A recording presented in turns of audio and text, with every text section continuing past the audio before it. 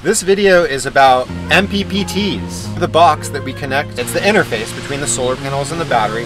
I found out recently you can connect as many MPPTs into one battery bank as you want. You could have 10 MPPTs. If you're adding solar panels, like I did with my fold-ups, and you realize you don't have enough amps available, buy another MPPT. Hey, my name is Dave. I've been living here in Malibu on the beach since uh, last summer. Van Life Beach, aka Westward Road, aka home. Started this YouTube channel to make a van for 30K. It's a studio apartment in the van. I'm living in it rent free in Malibu currently because why would you want to travel with these gas prices? I needed to get some shots for this video and I want to get it out tomorrow, Friday. It's not ready to take a shower yet. I'm sorry. Normally I shower in a bag, giant clear bag, dump the water out the side of the van. A simple solution, I hang it. Since there's not enough room on the roof, I have fold up panels as well. I don't plug in anymore. I used to plug in once in a while. With these fold up panels, I don't plug in. trying to do most important thing first. And most important thing is whatever I think it is. Biggest priority right now isn't the plumbing, a TV. Renogy sent me, they let me keep BT1. They sent me my BT2. Eh, you can have it. Oh no, we got we just knocked the whole tree down in the backyard trying to get rid of it little by little. The green light is on. It's inserted. That's what she said. Name my Bluetooth. You can connect to all of it. I had to do DC to DC. When I hit controller, doesn't actually work. Wow, look at all this info.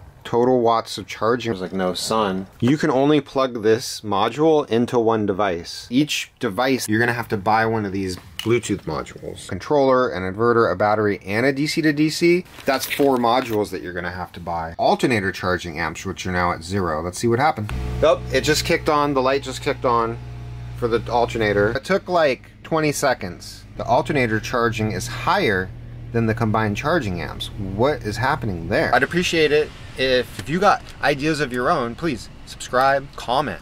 I think we can all develop this van life together and come up with ingenious solutions to the problems that we find. We can actually live more comfortable in a van, rent-free, than we would if we had a normal traditional home. This will work with Victron. I personally have Renogy Bluetooth modules plug into each of your devices from Renogy. Something annoying about this, it's not showing anything. That happens all the time. To get this to go away, close that app, reopen the app. One of them loaded. Come on, come on. That's my rover and that's my DC to DC. I have a third rover now. It's gray. I haven't connected a Bluetooth module yet. Why would you want this? The DC to DC doesn't tell you as much as the rover. You can see how much power you're generating. My favorite, total kilowatts generated. I'm getting very close to a megawatt. Take the kilowatt hours add them up and find out how much that would have cost you if you were paying for the energy. Battery temperature, MPPT, you can look at the voltages. I need to make a whole new video on voltages because it gets so confusing. A fully charged battery that's not connected to anything, say 13.3 volts, a lithium battery, but as soon as you connect a load, the voltage is gonna go down, even though it's still charged. Vice versa, connect a charge load, voltage is gonna go up. You may think, oh, my battery's charged, but it's not yet. When you have a charge load connected, your battery is not charged until it reaches over 14.4 volts. I'm digressing, because understanding voltages is really going to help you understand if your system's working properly. Oh my goodness, I really don't want to ramble here. Go to the home screen. This is my favorite screen because it tells you how many watts each charger is producing. Up here at the top, it tells you all the MPPTs added together so you can get your total wattage. And The most I've ever seen this do, 900 watts. A typical sunny day, you'll get a little over half rated wattage for all your panels. The Rover gives you all kinds of data. I, I don't even want to get into it. I prefer Rover over the DC to DC. You can plug higher wattage panels into it. There's a 25 volt limit on the DC to DC. It doesn't have a screen on it. The DC to DC portion of it rarely produces 25 amps. Sometimes it won't even do one amp.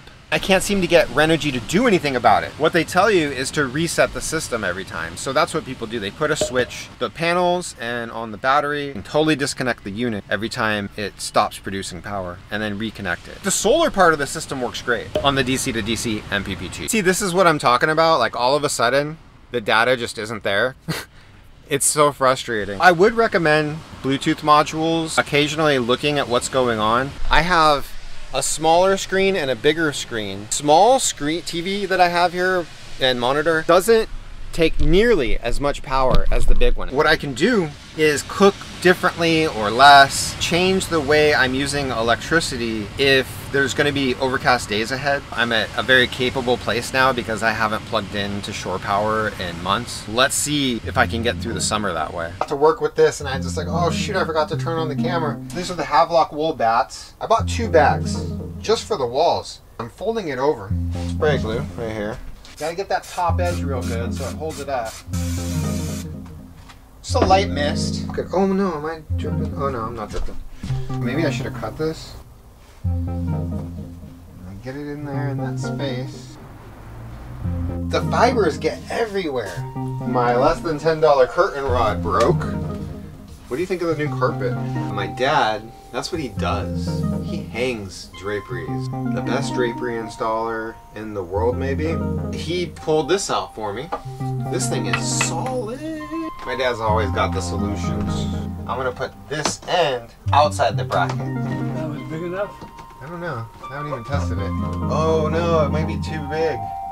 I had a feeling. It's easy to cut down. Now that everything's all like really nice, like hit things against things, and I'm just like, oh my god, I just scratched that, and I oh, put a hole there. And, Whew. How much do you want to cut off?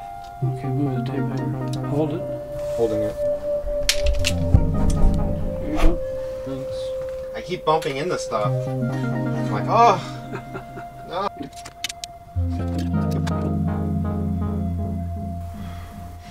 I don't really need these wires in here. Sometimes I leave uh, stuff that I'm working on in here longer than maybe I should. Part of it is because I have to walk so far to get into the garage. Oh, hard. Stuck. Here's my spot for my wire.